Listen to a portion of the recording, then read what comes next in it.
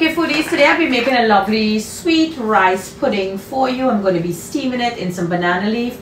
Here I have my short grain sweet rice and this is what it looked like. You will get it in the Chinese store. This is what they use to make, there you go, you see how it looks and I had it uh, soaking for like four hours. Your sushi, this is your sushi rice. So I give it a good strain and I have it here. So now I want to add it into my magic bullet. I put all that rice that I have been soaking, one tablespoonful of that sugar and I'm going to be using coconut milk or you could coconut milk powder or you can use uh, coconut milk itself.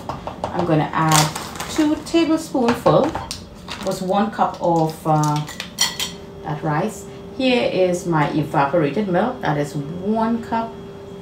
There you go. So in here I have my spices. I have ginger, quarter teaspoonful, one eighth of cinnamon, and one eighth of that elaichi or ilichi or cardamom powder. There you go in goes that. And now I want to put this into my magic bullet. But oh how can I forget my coconut? I have here coconut oil. It fell asleep because you all know how the coconut oil like to sleep. There you go. So I'm going to be adding one tablespoonful of that coconut oil. You could use regular oil or if you wish to use some melted butter, you could also go ahead because remember this is rice, so we need to moisten it.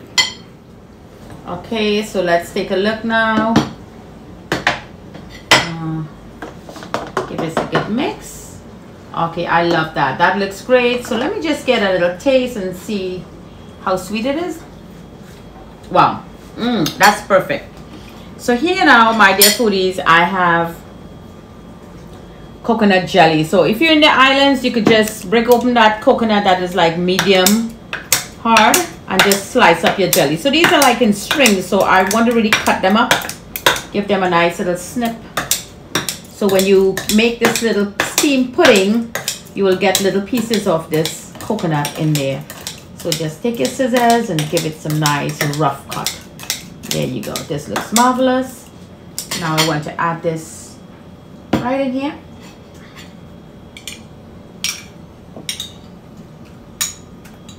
go. And this I'm going to be steaming it, steaming this in banana leaf. So this is all done.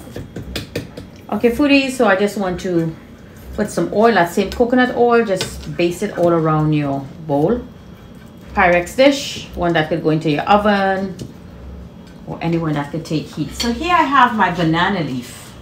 I give it a nice little heat. Like so, are you seeing me there, foodies? this will go on this side tailor everybody up nicely. And this one will go on this side. Beautiful. And now we're going to get one for the top. So it's about here. Give this a good cut to be face up. There you go. This looks marvelous. Want it to be neat because you know this is going to steam and it's any kink or whatever it have it's going to leave that impression on your pudding. Now we're just to give it another coconut oil. So we're to give it a little mix again, wake everybody up from in there, and now into the bowl.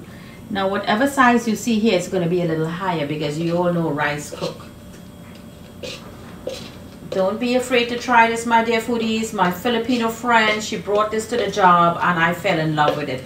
She inspired me to do this recipe and you know here Jenny's Wok, we to, we to learn, share and create. That looks beautiful. So now I'm going to cut the other banana leaf off on the top and we're going to make a cover for this. There you go. So this looks marvelous. It's about that size. We need to trim a little bit off. and again this is this is a smooth and this is a rough side. So we're going to put that rough side down. Oops.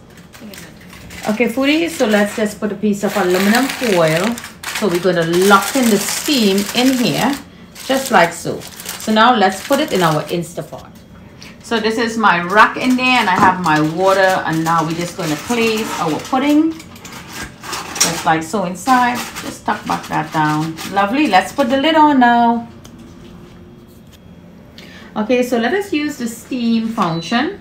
And we're going to add some more minutes to it. So let's go up to 30 35 is great and then we're going to hit start. And we're going to leave that alone. And don't forget to close the lid. Okay foodies so it's out of the oven. There we go. Out of that pot that steamer. 35 minutes. So my dear foodies. and as you all know this is uh, rice.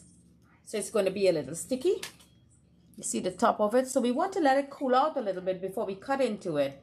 So I would let it cool but I just want to show to you I just can't wait. I love this dessert so much. So it'll be a little tough in there because that's all the jelly that is all over. But remember we sliced that jelly up. There you go. Just a little cut you see the jelly there? Okay. And we're just gonna take that piece out. So we're gonna cut them like you see I just want to show to you but we're gonna wait until it get cold. There you go. You see look how nice it is. Mm. oh wow. Delicious. Lovely pudding over here. So let it get cold and then we're gonna take it to another level. Lovely steam rice pudding from Jawak. Okay, foodie, so it's all cool and nice. So I want to cut into it now and do a lovely plating for you. Lovely dessert here that I was inspired by my Filipino friend to do for you. It's some steam rice pudding.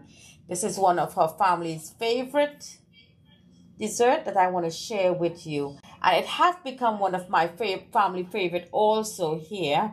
I love this. So I want to leave it in the paper, in the banana leaf. There you go. And I have a lid for this, so I'm going to put it into my refrigerator with the lid on and all that banana wrapping in it. So let's put this on the side. Let's take a look at this now.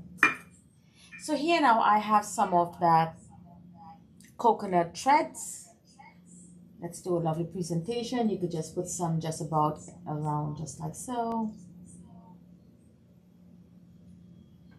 This is delightful. You can make it ahead of time for your guests. And I'm just going to cut a half of this cherry and put it in just like there. There you go. Find this year to enjoy from Jenny's Wok.